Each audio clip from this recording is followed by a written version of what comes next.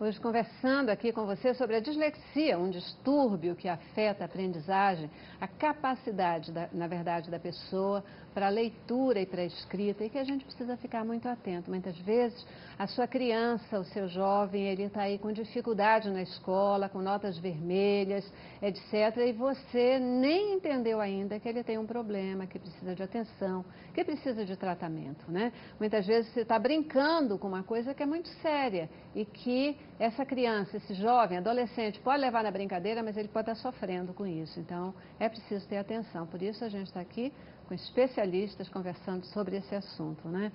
O que é, de fato, a dislexia? Você tinha falado que ainda não se sabe muito a respeito dessa doença, mas o que, que a gente já sabe a respeito dela? Olha, é uma disfunção, né? um distúrbio de aprendizagem, como você falou, e que a criança ela vai encontrar dificuldade. Um exemplo, ela encontra dificuldade nas sílabas de compreender, do processamento cerebral de entender aquela sílaba. Ba, bé, a criança tem dificuldade também na formação da palavra. Uhum. E isso também vai gerar uma dificuldade nela na escrita, sendo que na fase da alfabetização é aonde vem um diagnóstico uhum. né, mais preciso.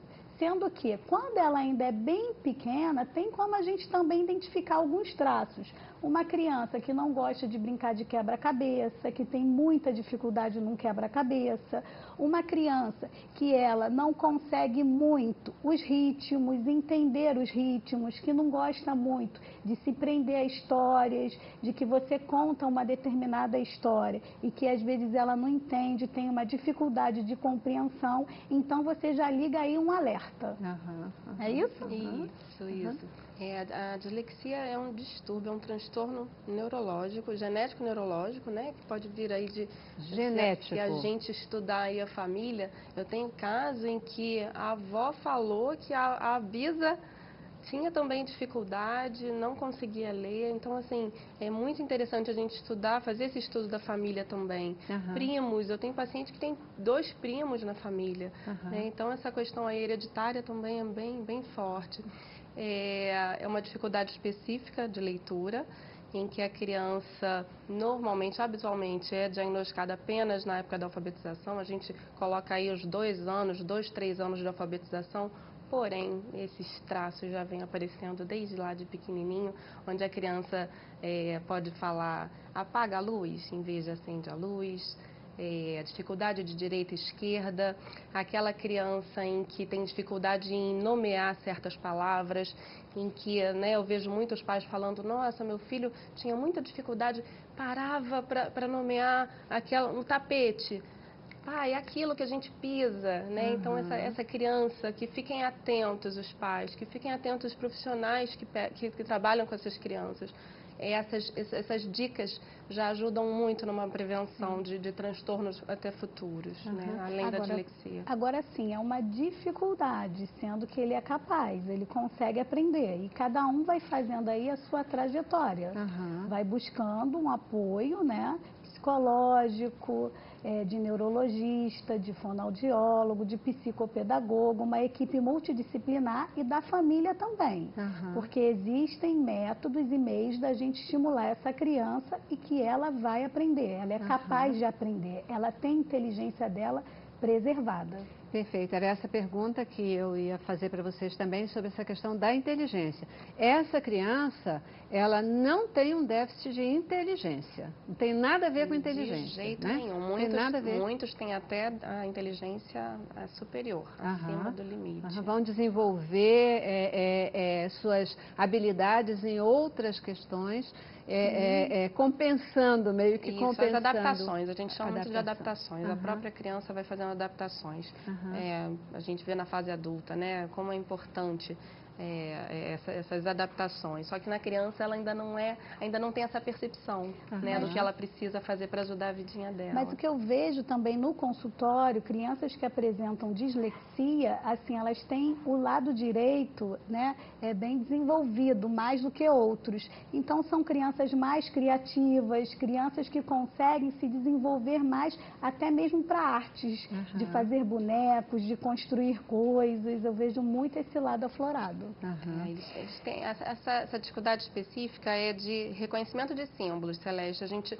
diz que né, o A aquela forma do A é um símbolo. Verdade. Então a criança tem dificuldade em decodificar esse símbolo para o fonema, uhum. em reconhecer que aquele símbolo A tem o somzinho A. Uhum. Então, assim, é a dificuldade de decodificação mesmo. Né? Claro que para fazer o programa e conversar com vocês, eu procurei ler um pouquinho mais a respeito disso e eu estava lendo que, na verdade, na questão do olhar, da, da, da, da identificação visual na dislexia, é, é, como se você olhasse esse símbolo e o próximo ele desfoca, ele meio que o que dific, por isso essa dificuldade é da leitura. É como se ele passeasse na frente da gente. É, se você me dá um texto e eu não tenho uma régua, por exemplo, daqui eu vejo que você tem uma, duas, três, quatro fileiras em negrito. Eu consigo enxergar, eu consigo fotografar. Uhum. Mas se eu pegar para ler, é, e você falar assim, Stelle, ah, eu posso ler, eu não, não, sei se eu vou ler a primeira linha inteira uhum. corretamente. É, eu tive uma professora que, de vez em quando, eu escrevia de trás para frente. Ela, o que, que você escreveu? Aí, de vez em quando, eu escrevia de trás para frente. E quando lia também, algumas palavras, eu leio ela de trás para frente. E eu não percebo que eu faço isso. Uhum. E para mim, tudo é muito lento. Eu sou muito. É, eu, eu dou conta de dirigir, é, de guardar na minha memória toda a minha agenda do mês inteiro, tudo que eu tenho que fazer. Eu consigo passar para as pessoas o que cada uma deve fazer e quando deve fazer. Eu consigo estar tá em outra cidade e ligar para minha casa e dizer vai no arquivo tal, pega o documento tal, mas eu não consigo, igual você, pegar um texto, ler e compreender ele perfeitamente e depois descrever ele é, tão perfeito quanto. Uhum. Para isso, para conseguir um pouquinho disso, eu comecei a me exercitar em 2009. Uhum. Eu escrevi um livro que ele está no forno, foi difícil, para o pessoal. Ele teve que ser reescrito por mim, porque metade dele ficou orgânico e metade dele eu escrevi. Uhum. Então, quando a, as pessoas liam para mim, não, não está faltando, tá? Aí, não, então você vai pegar e você vai ver. Aí, cada vez que eu lia, que alguém lia para mim, eu dizia, não, o que, que foi? Você apagou? Não. Então, hoje ele já está pronto. Ele já está em 15, 20 dias ele está indo para o forno. Uhum. Mas foi um trabalho muito árduo. Ele se chama Além de Nós. Uhum. Dentro dele eu não falo sobre a dislexia. Eu falo de tudo que a sociedade enxerga, a olhos nus. Porque a sociedade tem dificuldade de enxergar com outros olhos. Tudo que é diferente, né? Graças a Deus hoje vem se fazendo um trabalho a partir das escolas para se lidar melhor, para as próprias crianças lidarem melhor com o diferente. É a criança que tem uma síndrome diferenciada, é a criança que tem uma dislexia. É, e a gente já vê que as crianças começam a respeitar um pouco mais o diferente, né? Isso é fundamental. Acho que é, é, às vezes o adulto tem mais dificuldade de se transformar, de mudar, do que a criança. Então, começar pela escola é assim absolutamente fundamental é fantástico para mim é você colocar né, uma pessoa que tem dislexia e é, escrever um livro.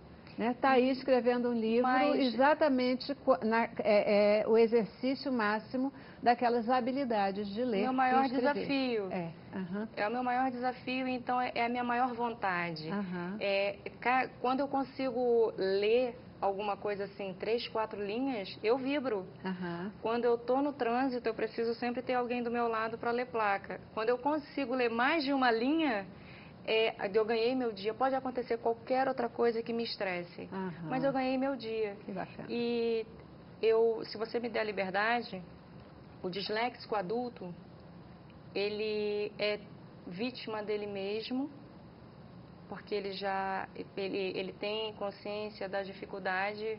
É, por exemplo, eu tinha consciência que eu não conseguia ler na frente de outras pessoas. Uhum.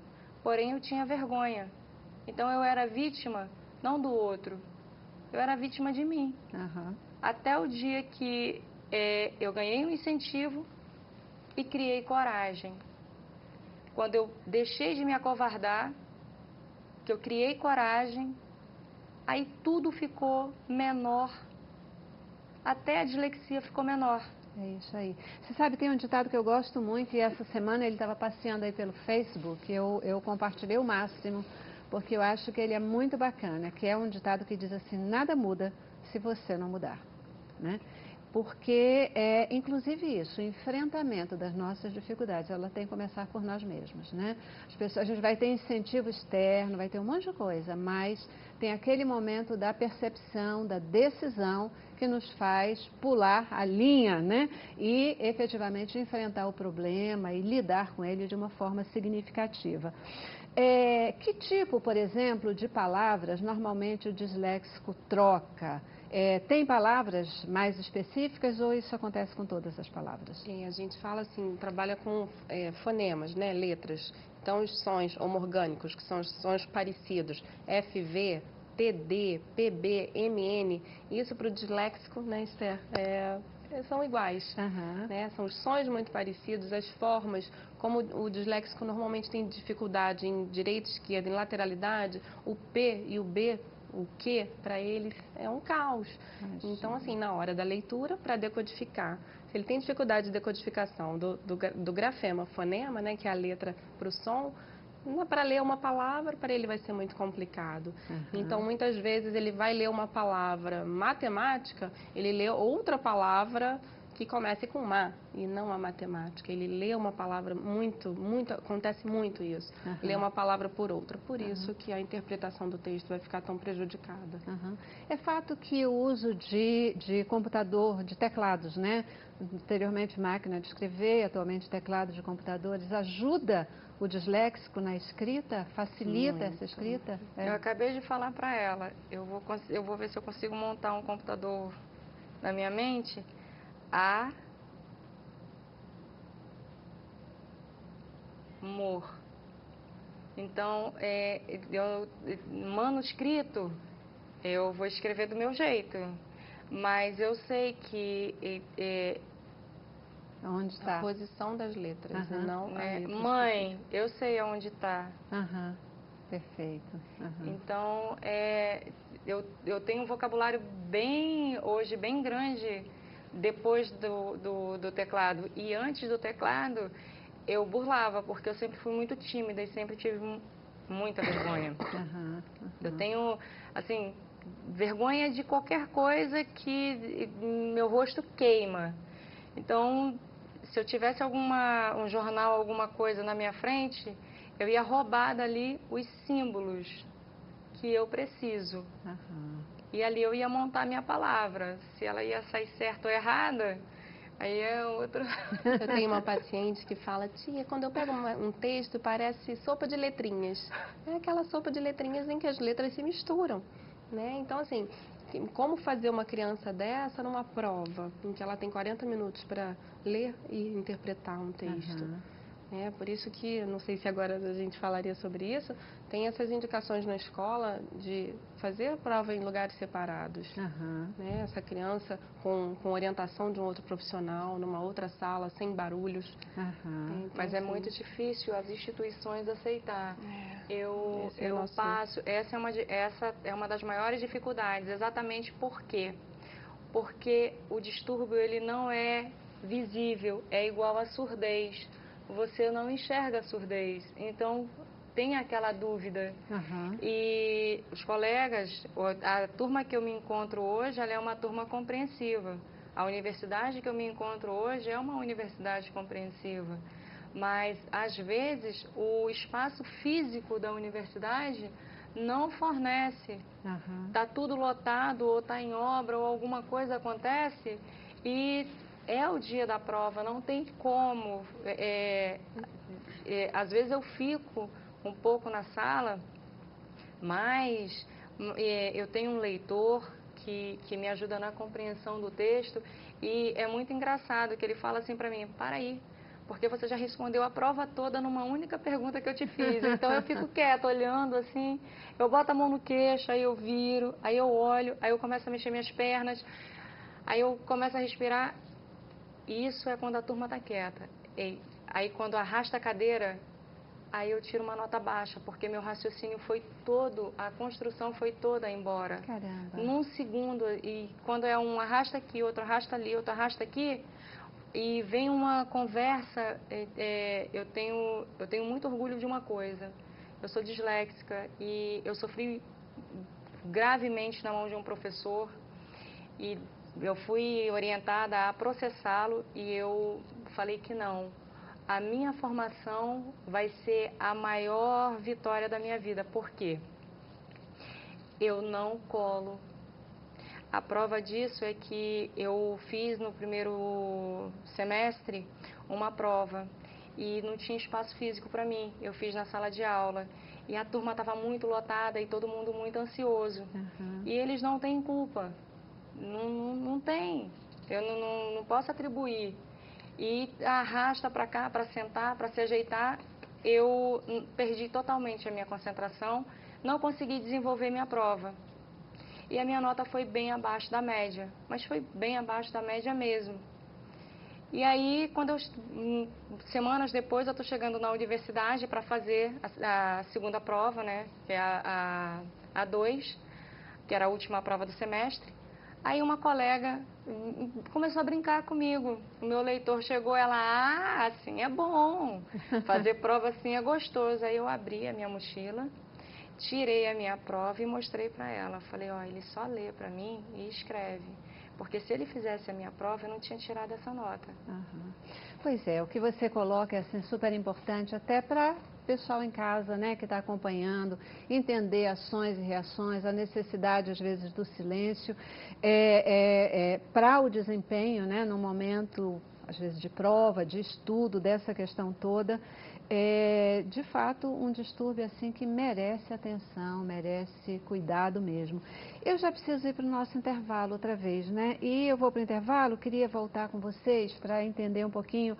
Todas as pessoas são sujeitas à dislexia. Você falou que ela, ou ela atinge mais um segmento, homens, mulheres, não sei, é, que é uma doença, que é um distúrbio genético a causa é sempre genética? Tem outras origens? E como que a gente pode lidar? Qual é a forma de enfrentar essa questão para papais, para educadores, para cuidadores, etc., mesmo na infância, para que essa criança se fortaleça e que ela saiba lidar, porque me parece que não tem cura, né? Mas logo depois do intervalo, tá bom? A gente volta. Vamos lá.